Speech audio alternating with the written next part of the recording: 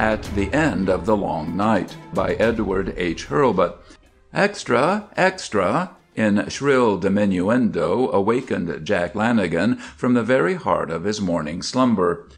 The morning paper man sleeps late and nothing short of cataclysm or the cry of an "extra" is likely to awaken him. Lanagan was from his bed to the window in a lanky leap hailing the newsboy. It was the Evening Record with a screamer head and two hundred words of black face type. Lanagan swept through it in a comprehensive flash. With more speed than was his custom he thereupon dressed. "Swanson," he said. "Gad! what a story!"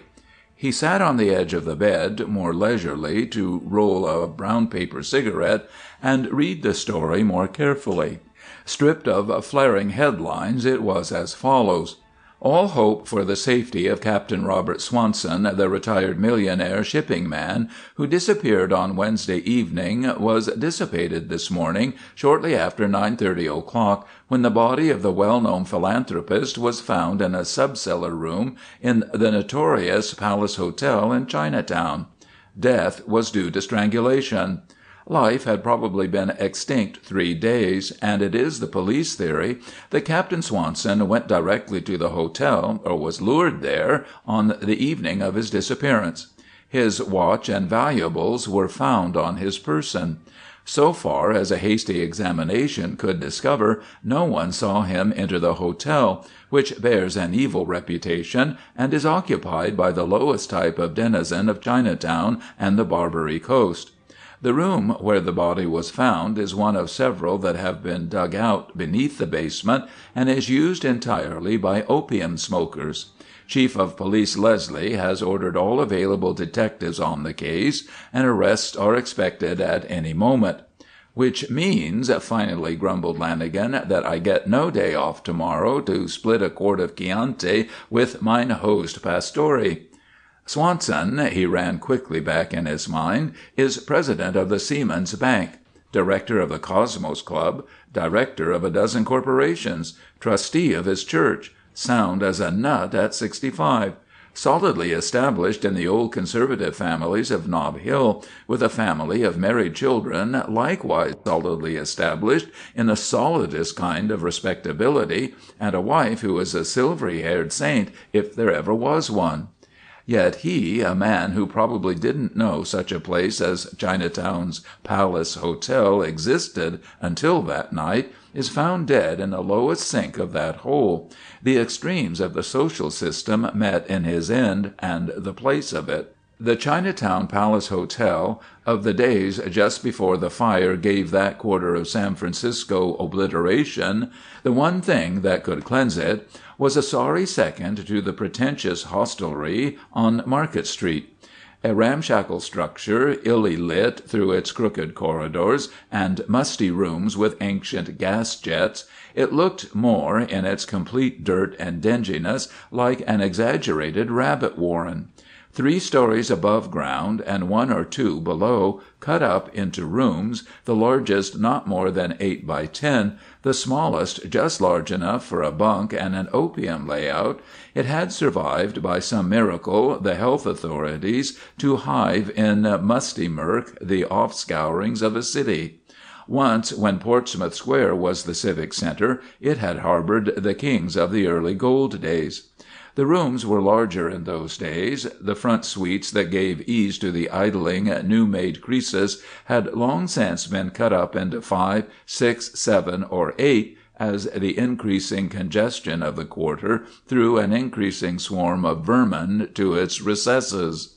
Save for white dope fiends, known in the vernacular of the police as hops, cokes, or morphs, users of opium, cocaine, or morphine, it was inhabited solely by Chinese, some of them coolie labourers, but the most of them likewise fiends. Below the basement floor were a dozen rooms not high enough for a man to stand erect in.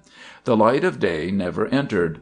What light they received came from one main gas jet in the corridor, or the occasional flash of a policeman's pocket light as the Chinatown squad made their rounds. Save for the members of the squad and at times a jaded police reporter, idling from the reporters' room in the nearby Hall of Justice on a quiet night, through the district with the squad sergeant, it is probable no white man, save the fiends of the district, had ever before gasped for breath in that foul den no white man, that is, before Captain Robert Swanson, who entered there one night never to emerge. It was three days before one of the denizens of the subcellar, finally realizing that the occupant of the next bunk was not in the stupor of drug but the stiffness of death, made his way with frantic hippity hoppings to the first member of the squad he could find, and reported the matter, not forgetting to whine for his ten cents for so doing. Such in substance were the facts in the mystery that set the city and the coast uh, Swanson was a notable figure in shipping circles in a ferment for a week. For more than the initial fact of finding the body in Chinatown's cesspool, five days had now elapsed with not one single additional fact of consequence to clear the mystery. Suspects without number had been jailed. Every ex convict, fiend, vagrant, or questionable character of the district, white, yellow, or black, male or female, had been put through the police mill. The opium dens had been emptied of their wastrels, blinking like bats in the light of day. Swanson's past and his present life were run under a high power lens. His servants' and his employees' lives and the lives of his former servants and former employees Chief Leslie was a fellow member of the Cosmos Club with Swanson, and if any additional good to his natural police pride were necessary to spur him on, that afforded it. Every recourse that police experience could adapt or devise was applied. Always there was lacking motive that mainspring for crime. That Swanson had by any chance been addicted to the drug habit was early dismissed. Practically every hour of his methodical life could be accounted for for months back. But in so far as his movements were concerned from the moment he left his doorstep on Wednesday evening until the body was found, he may as well have left his doorstep invested in an invisible mantle, for no living person that could be located had seen him alive. There was one peculiar circumstance. He had worn that night a heavy ulster overcoat, although the night had not been chilly, and Mrs. Swanson had remarked on it at parting. The coat was not found with the body. It is not exaggeration to say that in physical output Lanagan worked harder than any three reporters or detectives during the first five days of the case. He did not take me into his confidence he seldom did until the smash approached on any story. He smoked eternally, or chewed to pulp his own select brand of rank Manilas, or consumed innumerable cigarettes. Lanagan never had to bother with the daily routine of a story; that was left to me. His work was the big "feature" stuff. He might not write a line for a week, and then he would saunter into the picture with a new sensation that would up end the town. But there seemed to be no up ending on this case. During the five days that had elapsed the big portion of the work had fallen to me. Lanagan had absolutely not turned a trick. On Wednesday evening at midnight, as I turned in my story for the day, identical as I felt it would be for the other two morning papers, Lanagan 'phoned me to meet him at the Hall of Justice. I drifted down there. "I just wanted to tell you," was his greeting, "that I am going to disappear. Don't look for me. I will discover myself when the time comes. I'm going to lose myself up in Chinatown, for the solution of that story is there, and I'm not coming till I've landed something and choked off the side remarks of the Times and Herald outfit, if I stay there for the balance of my natural life. The police can hang as they please to their hoary old dogma that a hophead never commits murder. Just because they're so positive, I am going to take the other tack at least until I have proved their theory to my own satisfaction. There isn't a man outside the frequenters of this quarter knew of that subcellar, and that's the theory I'm going to stick with now. Keep in pretty close touch with the offices so I can get you in a hurry if anything turns up. Good bye." In another moment he was walking rapidly up Washington Street to disappear down Dupont, out of sight for three days. The story had run eight days and a dearth of fresh angles had thinned it out a trifle, when on Saturday evening, along about ten o'clock, as I hung around the local room, hoping against hope for a call from Lanagan, it came. "Meet me in front of old St. Mary's," he said, shortly, and I thrilled instantly with that same premonitory tremor that always came over me when the climax was on. I sped down Kearny Street, and in the shadow of the church steps picked him up. "Dorrett is watching me," he said. "He's been covering me for days." Dorrett was the oldest special policeman in Chinatown, and generally held to be a leak for the Herald through personal friendship for a former police reporter, now city editor of that paper. In such fashion do papers develop their sources of news. I have one clue that may be the key to the solid brick wall we have been up against, and I am not going to lose that key to the Herald via Dorrett," concluded Lanagan, as he suddenly stepped fully into the glare of the gas street lamp on the corner just as Dorrett sidled up. I saw that Lanagan had deliberately exposed himself. "Really, Dorrett," he remarked in that sinister tone he could assume so well on occasion, "some of these days I shall actually trip over you if you persist in blundering beneath my feet. You might fall quite hard in that case and hurt yourself. However, just tell Cartwright (city editor of the Herald) that I am going to hand him a package of nitroglycerine right on your own particular little bailiwick, will you? Please run along now, like a good little special policeman, because we are going to lose you thusly." He turned on his heel and ran for a California street car just lumbering past us up the hill, and I followed suit. After a few blocks he crossed through the car and dropped off on the other side. Scouting cautiously back toward Chinatown by way of Washington Street, drifting along with eyes wide for Dorrett, we finally made Ross Alley, where Lanagan stopped for a fraction of a second at the wicket of the gambling house at No. 8. At that time it was a strict rule of the gambling joints that a white man could not enter. Personally, for all of my four years' "dubbing around" on police, I never had been able to enter a Chinese gambling house when the play was on. Yet the lookout flashed one glance at Lanagan, grinned yellowly and ingenuously, and the massive solid oak door before us swung noiselessly open and we passed quickly through. As it shut behind us I heard a faint click click and glanced back. Three separate two by four scantlings, heavily reinforced with iron, had dropped back into their sockets. The door was as solid as a concrete wall against the axes of the Chinatown squad; the theory being that by the time the squad had the door battered down, the players had departed through some secret runway. "Melodrama?" laughed Lanagan at me. "But I had to come by the back door, as it were. I wouldn't like to have any stray police, or reporters, or Dorrett, suspect I was about to interview the man I am.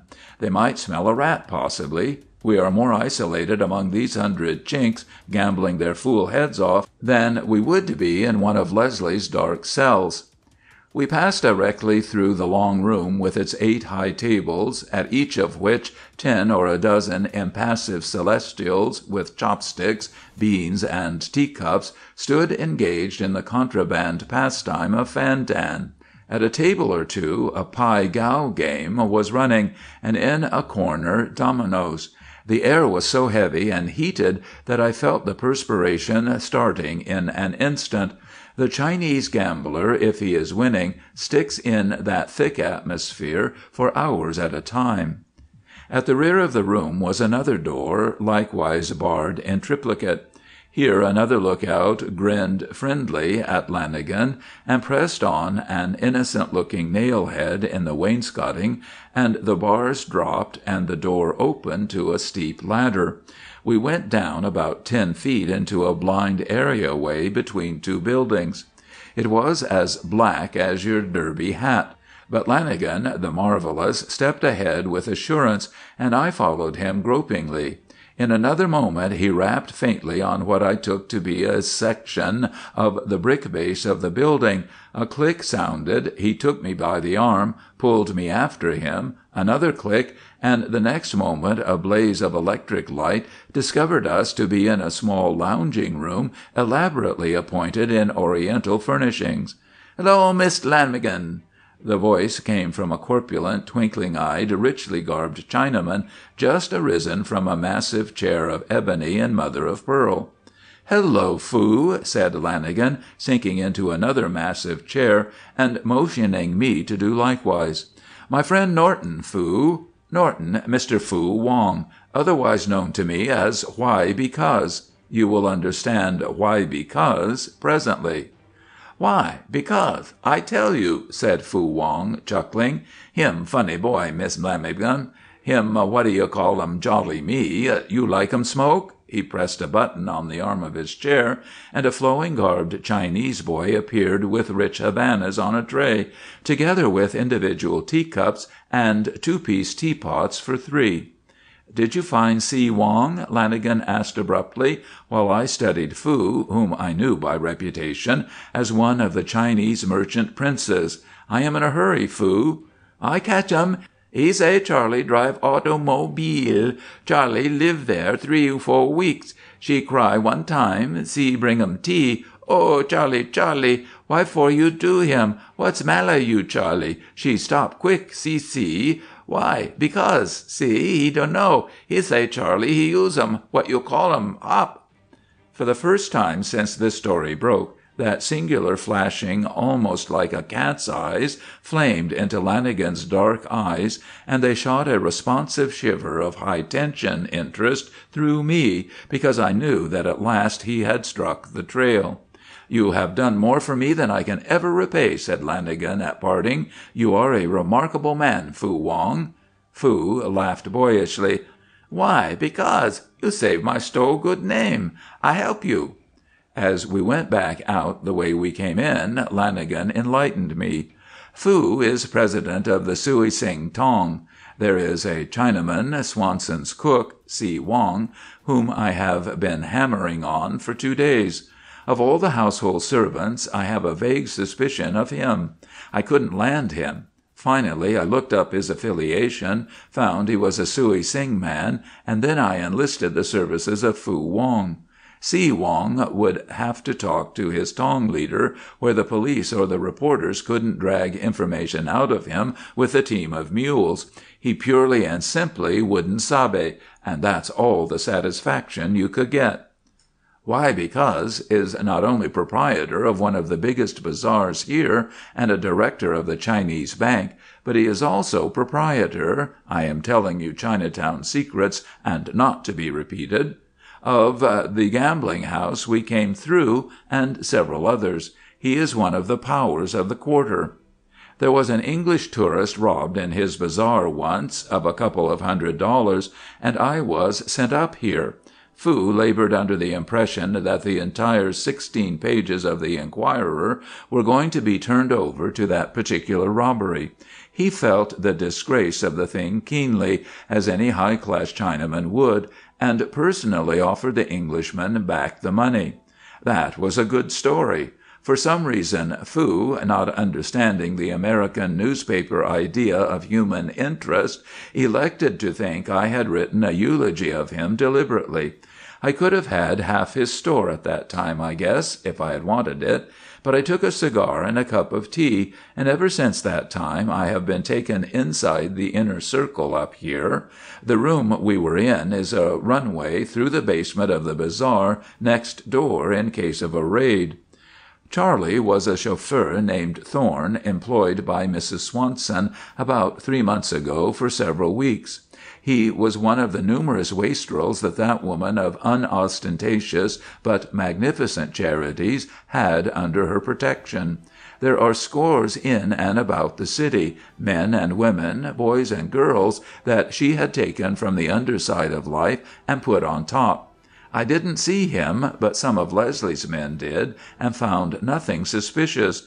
Had they known he was a hop, however, they might have thought differently. It establishes a very clear apparent connection between Swanson and the Palace Hotel, and the only definite clue that has been turned up. We will save a lot of time by getting his address from Leslie." Lanagan was through with Leslie in a few moments. "He is going home, but will be on tap with Brady and Wilson if we need him later," he said. "He got curious when I mentioned Thorne, but promised to lay off until he heard from me. Thorne lives at Lombard and Larkin, where, in view of Mrs. Swanson's undoubted suspicion that he committed the crime, coupled with See Wong's charge that he is a hop, we will now proceed to call on him." We were there in a few moments. It was a squalid lodging house, in charge of a slatternly beldame. She didn't know whether Thorne was in or not. He was kind of loony lately, she thought. "Too bad," said Lanagan genially. Has Charley been so that he couldn't be out the last week? He wasn't feeling well last time I saw him." "Ain't seen much of him this week," she replied. "I didn't know about it, but I'm beginning to think he's one of them there fiends. He is actin' something awful sometimes lately, what with his skippin' and hoppin'. You can go on up." The door was locked, but it was a rickety affair, and the lock yielded to the pressure of our shoulders. A man who might have been any age from twenty to forty swung himself to a sitting position on a disordered bed, and glared at us with eyes that were wide open, but only half seeing.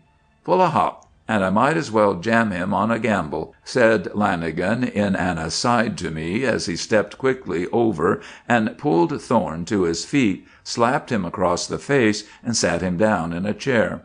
A high pitched, querulous protest was voiced at the treatment, and then Thorne whimpered: "Oh, you are so cruel! What have I ever done to be treated so cruelly?" He began to cry. "Done? You snivelling viper! Put on your shoes and come with me to jail. You murdered Robert Swanson, and you are going to hang for it. Get up and come along." Again Lanagan caught him a sharp slap across the face. This time Thorne did not whimper. A look of cunning came into his eyes. "Getting your wits back pretty quick now, huh?" sneered Lanagan. Thorne stared. It seemed for a moment his clouded eyes entirely cleared, and then the film of the drug sodden brain fell over his eyes again, and he relapsed to his hunched position. He was shivering and rocking himself, his angular knees, drawn up to his chin, clasped around with his arms. "Oh, dear! Oh, dear!" His voice was pitched high again, like a woman's.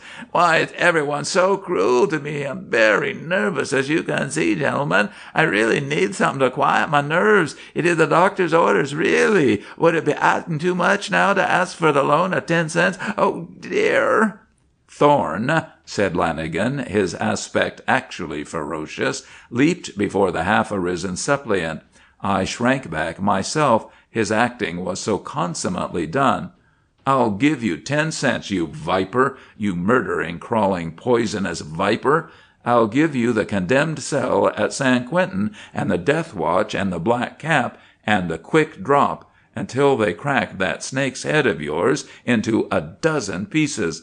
That's what I'll give you!" Chattering, jabbering incoherently, his long, lean, sharp nailed, claw like hands working spasmodically before his face and toward Lanagan, the fiend huddled back. He glanced from side to side, his head lolling, as though seeking some avenue of escape by a desperate leap. Lanagan's eyes were within a foot of his face. Thorne began to foam at the mouth. I thought he was going into a fit as I watched, fascinated, the horrible scene. Bearing down upon the wretch with savagery in his voice and manner, Lanagan hammered on. "Give you ten cents? What do you want with ten cents? You'll never get another shot of coke as long as you live, Thorne. Never in this world. You are coming with me now coming where you will never need coke again coming to your death by hanging for murder. Not another shot in all this world will you ever get." With a shriek that was more animal's than man's, Thorne suddenly lunged forward. Quicker than the dart of a snake's head, those hands with their long, lean, writhing fingers had twisted around Lanagan's neck. With a strength that was the strength of temporary insanity, he flung Lanagan from him and fell with him. Then, like a lean gorilla, he shook Lanagan's head from side to side while he screeched fearful imprecations. "You lie! You lie! I'll get all I want! That's what he said, and I killed him, and I'll kill you, too! Yeah! Yeah!" He trailed away into a maniacal scream. I hurled myself at him, but the fiend, for the moment at least, had the strength of three men. I finally managed to get in a blow that settled him. Lanagan, rubbing his bruised neck ruefully, rose slowly. He was panting a little, but chuckling. "Score one for mental suggestion on a weak subject," he laughed. "But I didn't figure those scrawny hands had quite that much strength. This murder is clearer than print. We all but re enacted the scene. Now, my boy, to establish the connection that would bring a man of Swanson's position to a rendezvous at the Palace, to arouse the slumbering demon in this human orang outang. It's rather a commentary on that hoary police doctrine that a dope fiend never commits murder. I was right. Within thirty minutes Chief Leslie and Brady and Wilson, his right hand men, were in the room, and Lanagan swiftly detailed the circumstances. Thorne had come to, and was shaking and shivering as the drug wore out of his system, leaving him nerve racked. He did not attempt to repudiate his utterance, but sullenly admitted the murder. In view of the words overheard by See Wong, there was but one person to clear up the mystery. Leslie, Lanagan, and I hurried in the chief's machine to the Swanson home, nearly midnight as it was.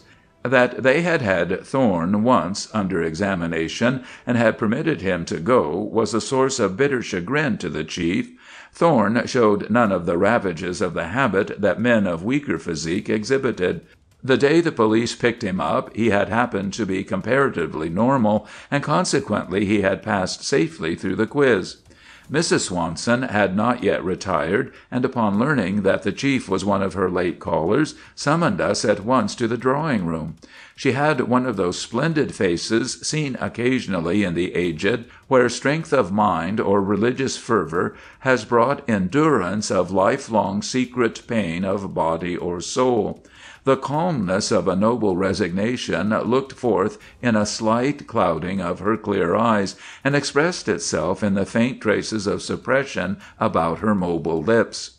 The gleaming snow white hair, combed straight back from a forehead of a remarkable breadth in a woman, invested her like an aureole.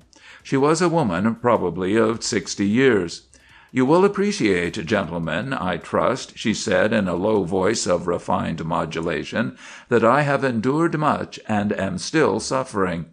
"It is a very painful errand we are on, Mrs. Swanson, and we will endeavor to be brief," said Lanagan in a voice that a Chesterfield might have envied for courteous inflection and gentleness of expression. "But nevertheless it is an errand that must be performed." He glanced at the chief, who nodded.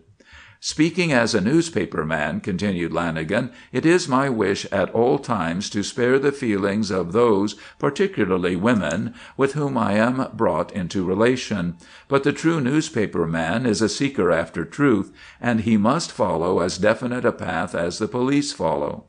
There was an eloquent pause. She gazed from one to the other during the interim, as though striving to read their thoughts. It was evident that the undercurrent that these skilled cross examiners intended to convey had carried home. "Well?" finally. Neither Lanagan nor Leslie spoke. There was another pause. She said at last: "You have some information to impart to me? Or some information to seek?" "We desire to inform you," said Leslie slowly, and with just a shade more of hardness in his tone as the detective began to work in him, "that we have under arrest the confessed murderer of your husband." She leaned involuntarily forward in her chair, and grasped the arms so hard that her knuckles showed white through the fair skin of her hands. "And we desire to inform you," added Lanagan quickly, "that the name of your husband's murderer is Charles Thorne. and we desire to ask you what the motive was for the murder of your husband by Charles Thorne, and why, when you suspected that Charles Thorne was the murderer, you did not immediately notify the police." Her hands slowly relaxed their grip on the chair arms as she sank back into its depths. Curiously, in the way the light struck down at her hair and her face, it seemed that the beautiful halo of white that had invested her, and the delicate, well preserved whiteness of her skin, turned suddenly to dirty gray. If ever the blight of age settled visibly in fact or in fiction, it settled upon her then. "You have Charles Thorne under arrest?" she said, and her very tone was gray. She did not deny the truth of the charge; she did not express satisfaction that the murderer was found. She merely asked whether they had Charles Thorne under arrest. "Yes." Her eyes closed and her head dropped suddenly back against the chair. We stepped swiftly forward, but before we could take any measures to revive her, her eyes had opened again. The lips moved. She was speaking, but so gaspingly that we bent to hear. "It is the end of a long night," she said with many halts. "The end of the long night. A life's nightmare is done. God have mercy on me!" She stopped completely. Then, "God pity all mothers who bear as I bore." Another long pause. She was by strong effort retaining the clarity of her faculties under some heavy shock. She repeated, "Who bear as I bore." The silence became acutely poignant. "It must be told," she breathed finally. You have asked me why I did not tell you my suspicions. I will tell you now. Charles Thorne Her next words came so low that had it not been for the pregnant silence of the great drawing room they would not have heard "is my son." I found I had been holding my breath, and I glanced quickly at Lanagan to see his breast falling with a deep exhalation. "My husband did not know," she continued, colorlessly. "Charles Thorne does not know I am his mother. I have tried to live a full Christian life. I have given by tens of thousands to aid the erring. I have thought to make all atonement and yet the blood of my blood slew the heart of my heart, my dear husband, one of God's noble men." After that wrenching confession her normal poise began by degrees to return as the strength of an extraordinary mind began to assert itself. The story was soon told of an alliance before her marriage to Swanson, of the boy, taken by the father, to be sent back to her after fifteen years. The dissolute father, on his deathbed, sent Charles back to the mother. For fifteen years since that day she had steadily stood sponsor for the boy. To her husband he was but one of the many others of her objects of charity. It may be said the boy inherited the dissolute traits of his father.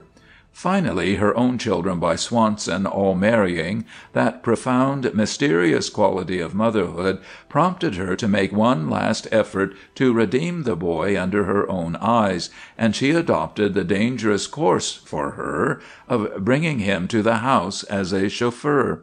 That he was given to drugs she did not know. Thorne had been caught in a series of petty thefts. Swanson had finally been compelled to discharge him. He had left the house with maledictions upon Swanson. Instinctively she had felt he was the author of the crime.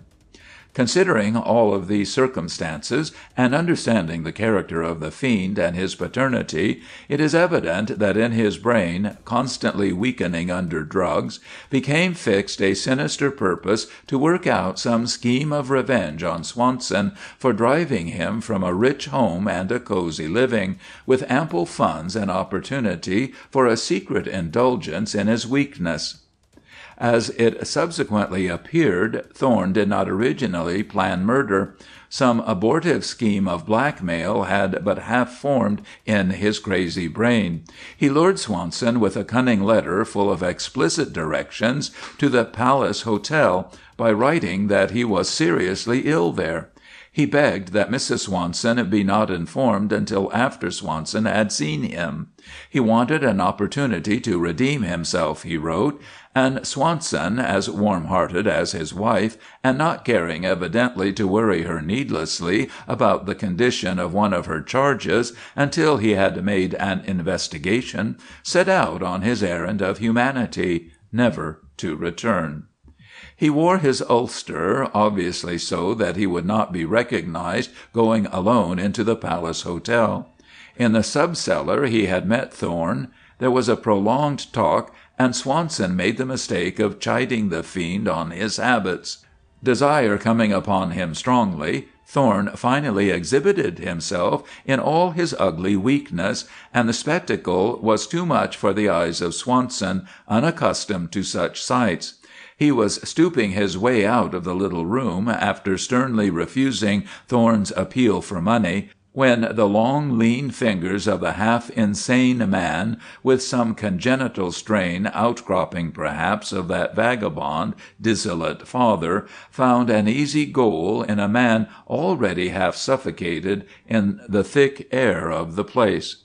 Alarmed when his fit had passed at what he had done, and fearing to rob the body, Thorne had quakingly slipped into Swanson's ulster and made his way in terror to his own room. First he had journeyed to the foot of Powell Street, weighted the coat with a rock, and cast it into the water of the bay. It was subsequently recovered and served as the single bit of incriminating evidence to substantiate his confession.